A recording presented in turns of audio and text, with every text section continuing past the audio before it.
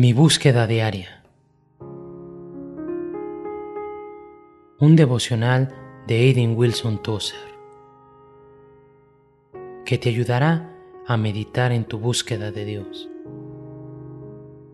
En Luz a las Naciones, canal cristiano de comunicación, puedes escuchar cada día este nuevo espacio. Mi búsqueda diaria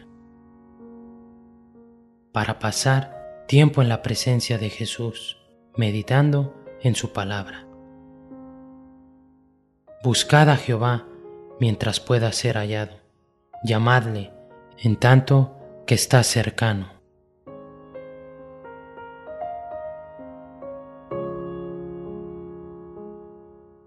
...4 de junio...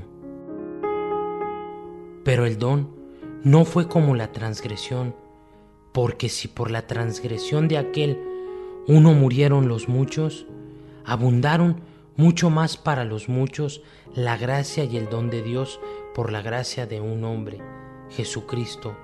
Romanos capítulo 5 versículo 15. Juan Bullán escribió la historia de su vida y la tituló Gracia abundante para el mayor de los pecadores. Sinceramente, Pensaba que ese título era el que representaba su vida. Creía que él era el hombre con más derecho a la gracia de Dios. No es que nadie tuviese ese derecho, pero sentía su propia condición de pecador en lo más profundo, y que sólo la abundante gracia de Dios le había salvado.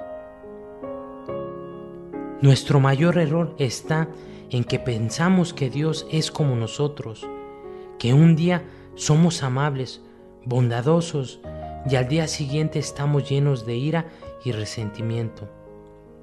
Cuando la Biblia dice que la gracia de Dios sobreabunda, no se refiere a que abunde más que cualquier otra cosa en Dios, sino que abunda más que cualquier otra cosa en nosotros. No importa cuánto hayamos pecado, la gracia sobreabunda para con nosotros. Cuanto más se aprecia el hombre, menos aprecia la gracia de Dios. Pero cuando una persona empieza a verse a sí misma como se veía Juan Bullán, completamente bajo sentencia de muerte, la gracia de Dios se vuelve mucho más maravillosa.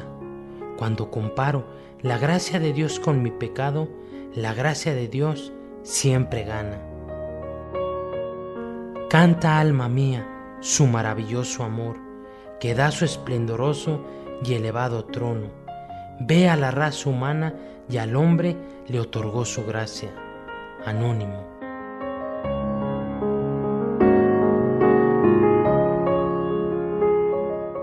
Oremos. Amado Padre Celestial, al igual que Bullán, y el apóstol Pablo, me siento el peor de los pecadores. Tu gracia es tan maravillosa que cubre a los pecadores como yo. Alabado sea el nombre de Jesús. Amén.